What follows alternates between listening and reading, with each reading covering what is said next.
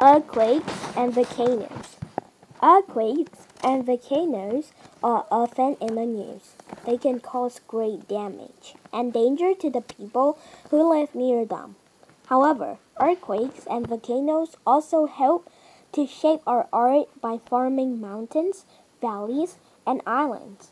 When the Sinabung volcano erupted on the Indonesian island of Sumatra in November 2013, Nearly 18,000 people had to leave their homes because rocks and ash rained down on their homes.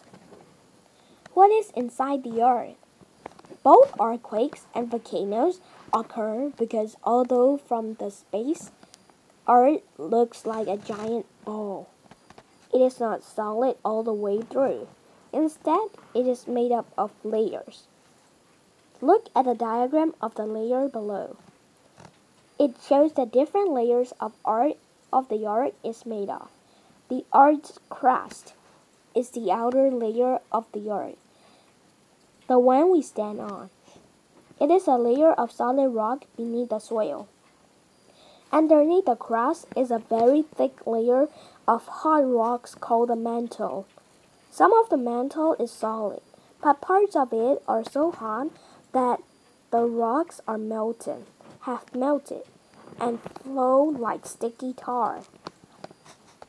In the center of the earth is the core, which is made up of two parts. Both of them are extremely hot. The outer core is made of hot liquid iron with some nickel. The inner core is a hot ball of solid iron with some nickel. The earth's plate. The art's crust is not just one huge outer layer of rock, it is made out of seven giant pieces. It is and at least 12 smaller ones called plates.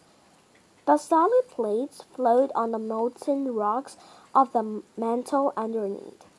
The ground beneath our feet feels firm and hard, but really it is always moving very slowly.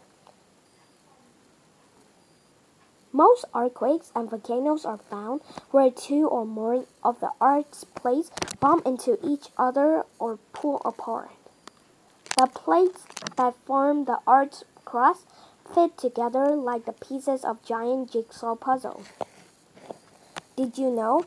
A huge earthquake in the Indian Ocean in 2004 produced large sea waves called tsunamis, which killed about 300,000 people.